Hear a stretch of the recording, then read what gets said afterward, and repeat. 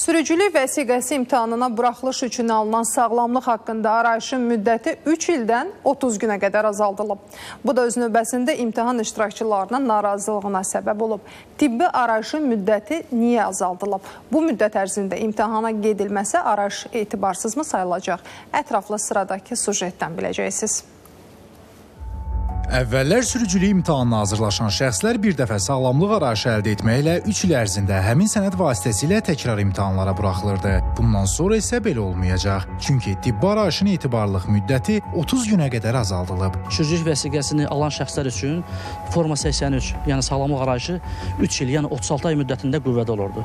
İndi isə son zamanlar 1 aydan çoxdur. Arayışların aşağısında yazılır ki, 30 gün ərzində qüvvədədir. 1 aydan bir adam xəstələnmir ki, düzdürmü? Əgər biz sürücülük vəsiqəsini gedib oxuyub, imtahan verib əldə eləmək istəyiriksə, bu çox gözəldir ki, yollarda bizim qaydaları bilən sürücülərin sayı çoxalır, düzdürmü?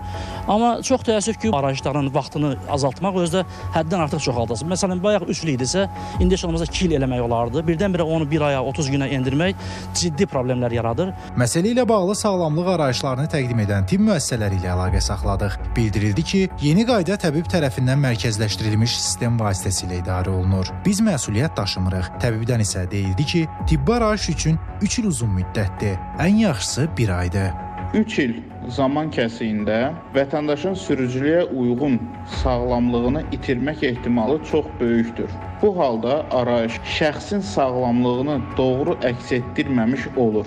Bu səbəblə sürücülüyə yararlılıq barədə tibbi arayışın qüvvədə olma müddəti 3 ildən 30 günə qədər azaldılıb. Qeyd edək ki, sözgedən sağlamlıq arayışı ilə bağlı rüsum 50 manat nəzərdə tutulub. İsmail Əmirli, Samir Göylərli, ATV xəbər.